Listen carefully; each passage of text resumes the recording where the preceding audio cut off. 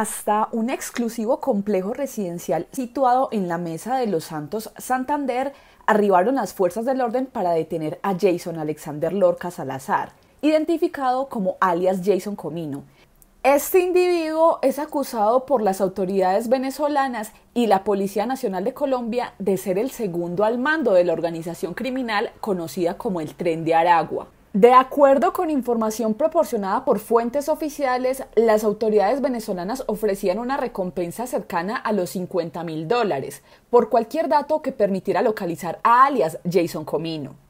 Durante varios meses, las autoridades habían estado monitoreando cuidadosamente cada uno de los movimientos de Jason Lorca. Según las investigaciones, se habría refugiado desde hacía aproximadamente un mes en una finca tipo resort dentro de un exclusivo condominio ubicado en la Mesa de los Santos. Fue precisamente en este sitio donde lo capturaron.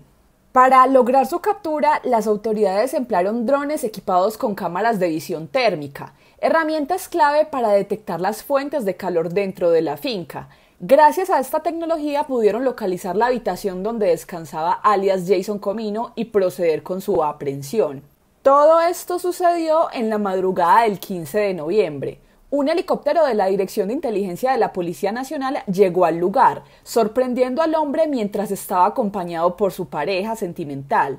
Según el informe oficial, tras leerle sus derechos, alias Jason Comino fue trasladado en la misma aeronave directamente a la ciudad de Bogotá. Fotografías difundidas por las autoridades capturaron el momento exacto de la detención en la opulenta finca. En las imágenes se observa cómo una decena de policías redujeron al sujeto, quien estaba vestido únicamente con calzoncillos, mientras su pareja lloraba desconsolada a su lado. De acuerdo con la policía, uno de los elementos determinantes para localizar a alias Jason Comino fue su propia vanidad. Ostentaba su poder exhibiéndose en fotografías con armas largas para intimidar a sus víctimas, explicó la institución. Sin embargo, lo que no anticipó es que cada imagen compartida dejaba un rastro crucial que permitió identificar su ubicación, revelaron las autoridades al adjuntar las imágenes en su comunicado.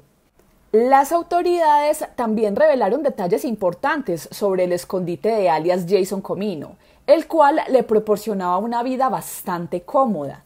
El sujeto pagaba 700 mil pesos diarios por alquilar una finca que contaba con habitaciones de lujo, zona de barbecue, piscina y otros espacios que le ofrecían tranquilidad para convivir con su pareja sin levantar sospechas. La noticia de su captura fue anunciada directamente por el presidente Gustavo Petro a través de su cuenta en X. El mandatario informó que, como parte de la operación Frontera desarrollada en coordinación con las autoridades venezolanas en el municipio de Los Santos, se logró la aprehensión de alias Jason Comino, este individuo era requerido por Venezuela mediante una notificación roja de Interpol para enfrentar cargos relacionados con terrorismo, asociación para delinquir agravada, tráfico de armas y municiones, además de extorsión. Pero, ¿qué es el tren de Aragua y por qué tiene tanta importancia acá en Colombia? El Tren de Aragua es una organización criminal que tuvo su origen en la prisión de Tocorón, ubicada en el estado de Aragua, Venezuela. Surgió hace aproximadamente una década y desde entonces se ha convertido en una de las bandas más temidas de la región, con una estructura que cuenta con alrededor de 5.000 miembros. El grupo se dedica a una amplia gama de actividades ilícitas que incluyen extorsión, sicariato, narcotráfico, prostitución, trata de personas e incluso minería ilegal. Su influencia y operaciones se han extendido más allá de las fronteras venezolanas, consolidando su poder en varios países de América Latina. El tren de Aragua ha expandido su influencia más allá de Venezuela, extendiendo sus operaciones criminales a países como Colombia, Perú, Chile, incluso ha llegado a Estados Unidos, donde las autoridades han intensificado los esfuerzos para desmantelar esta organización, ofreciendo millonarias recompensas por información que permita capturar a sus principales líderes. Este crecimiento transnacional ha convertido al tren de Aragua en una de las redes criminales más peligrosas y complejas de la región. Pero este no ha sido el único golpe grande que le han dado al tren de Aragua este año. Pues recientemente, en un operativo realizado a mediados de octubre de este año, las autoridades en Bogotá lograron capturar a cinco miembros del temido grupo criminal conocido como el Tren de Aragua. Estos individuos implicados en delitos graves como la extorsión fueron aprendidos tras una serie de allanamientos efectuados en diferentes localidades de la capital. El alcalde de Bogotá, Carlos Fernando Galán, acompañado por el comandante de la Policía Metropolitana, José Daniel Gualdrón, y el secretario de Seguridad, Convivencia y Justicia, César Restrepo, informó los resultados de esta operación durante una rueda de prensa. Galán enfatizó que combatir la extorsión es una prioridad para su administración. Además, señaló que los detenidos están vinculados a un ataque con granada ocurrido en septiembre en la localidad de Kennedy, el cual dejó un saldo de dos personas fallecidas y diez heridas. Este operativo representa un paso importante en la lucha contra la presencia del tren de Aragua en la ciudad. Entre los detenidos en el operativo se encuentran alias Bellaco y alias Francesca, ambos considerados cabecillas de gran peligrosidad dentro del tren de Aragua. Bellaco ha sido señalado como el responsable del ataque con granada en septiembre en Kennedy, mientras que alias Francesca lideraba una red de extorsión dirigida a mujeres de la noche que trabajaban en el sector, a quienes les exigía pagos mensuales para garantizar su seguridad.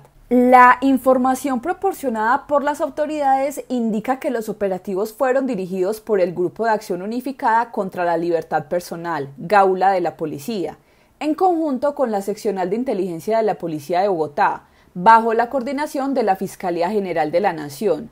Durante las diligencias se incautaron sustancias estupefacientes, armas de fuego y panfletos extorsivos, Además, se descubrió que los delincuentes se encargaban de dosificar drogas para su distribución en la localidad de Kennedy.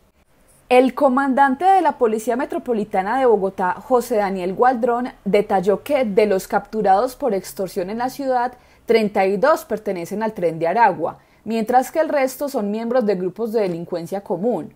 Por su parte, el secretario de Seguridad, Convivencia y Justicia, César Restrepo, destacó que se están llevando a cabo operativos focalizados en las zonas más críticas de la capital para combatir el crimen organizado.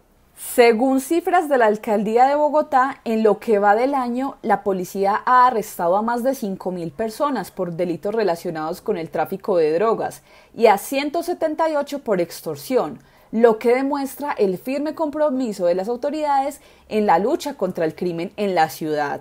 Sin duda alguna, todavía queda mucho trabajo por hacer. Amigos, ¿y ustedes qué opinan sobre la captura de alias Jason Comino?